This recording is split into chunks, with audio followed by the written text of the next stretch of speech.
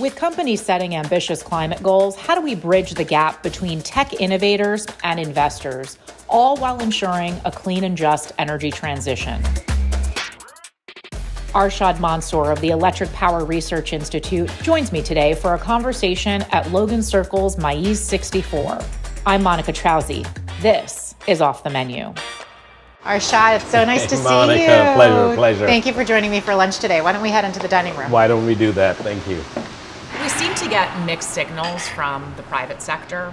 On the one hand, many companies are setting these huge decarbonization goals, a lot of them attached to 2050, right? It's a long way out, but if you're in this world, you, you know that 2050 is actually not that far out. On the other hand, a lot of the actions and investments are really just about the bottom line, right? So if they serve the shareholders, those are the actions that are taken.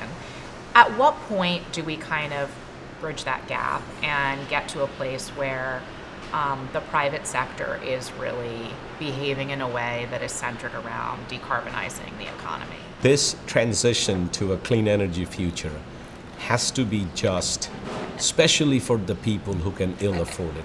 There is not a single utility on the electricity side that I know that have not committed to a clean energy future.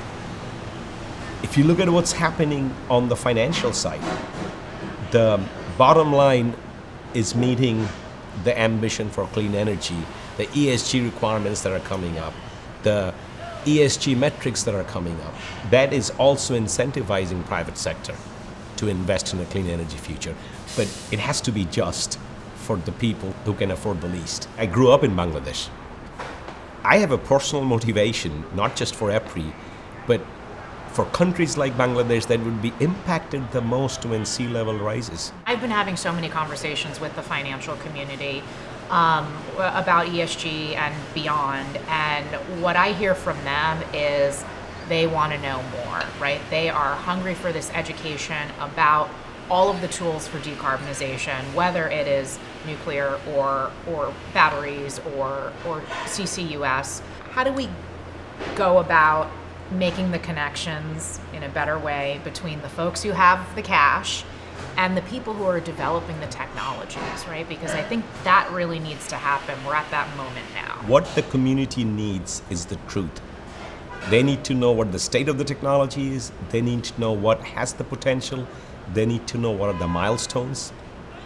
And if you're talking about advanced nuclear, this decade is about execution to make sure we have at least one SMR multiple advanced nuclear reactors and a microreactor that is operational by the end of this decade. And we got to make sure we do that so that investors have trust on these new emerging technologies. We had an event with JP Morgan EEI. Yeah. You were there and last year it was amazing. You had a bunch of technologists like us talking with a lot of financial people. Right. And it's not just JP Morgan. It's if you look at EPRI, we have Morgan Stanley in our board, we have JP Morgan, we have other financial because they're a key stakeholder in this clean energy transition. Yeah, and they get it. They're they're bought in to really being a part of, of the decarbonization solution. It's just a question of okay, where where does the money go now? Do you think we're going to get to that place where our grid is resilient in the way that it needs to be, where we have decarbonized um, to the point that's necessary uh, to to combat climate change? So you're talking with a technologist. We are eternal optimists.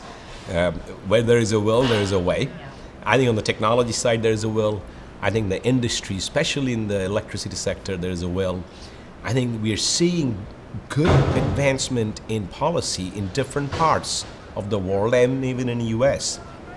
Not everything is in aligned, but we have to be in alignment. There is no other option but to be successful. I love your optimism. Um, it was nice to see you for lunch. Thank you for joining me uh, while you're in town. I appreciate it. It is my pleasure. Thank you.